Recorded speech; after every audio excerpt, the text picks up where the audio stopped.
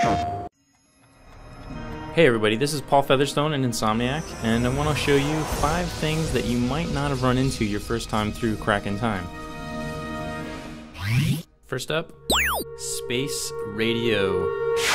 Some of the radio clips are rare and only play like every 10, 15, 20 minutes of constant flight without landing onto a planet. So some of you might not ever hear some of these. You can hear clips of Captain Qwark on set from his newest film. I want you off the set. That was completely unprofessional. I, I completely understand. You think it's easy to stand up here and play make believe? And yes, everyone who's been writing in asking, is Angela a Lombax? Well, listen to the space radio in the Corvus sector and you will get your answer.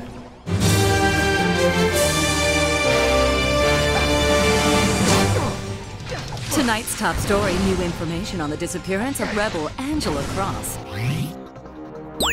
Much like the Bullseye in the Resistance series, the Dynamo of Doom is a weapon that has a couple of features you might not even know exist. If you charge the fire button before releasing it, you can actually throw out a giant electrical bowling ball. It's a great crowd control weapon and it works really well on huge enemies. You can also use your 6-axis DualShock 3 controller to steer the Dynamo of Doom from left to right and do the most damage possible. Competition. Select the Community tab on the main menu to upload your stats and see where you rank among the best Ratchet players in the world. Everything is tracked here, from the number of crates smashed to how fast it takes you to beat the game. Plus, you can customize your Ratchet avatar using weapons and armor that you've collected throughout the game. And if you have a quest for booty save on your PS3, you'll unlock something nice and piratey to add to your wardrobe.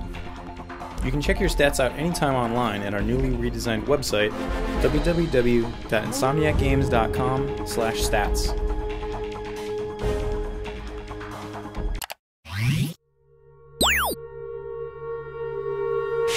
You have to collect all 40 Zoni in the game and complete a second showdown with Vorselon in order to unlock the Insomniac Museum. There's lots of cut features that are inside the Insomniac Museum, like hoverboot races. You can also find a couple of weapons that we cut. There's also a behind the scenes clip, talks about the making of the Agorian Warrior.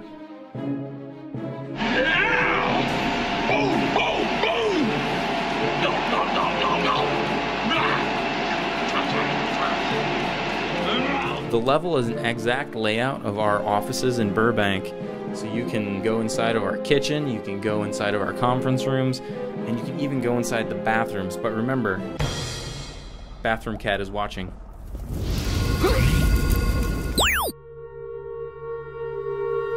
Ratchet isn't the only character that collects gold bolts. There are a handful of gold bolts that you can only get by returning to sectors of the Great Clock that have already been cleared.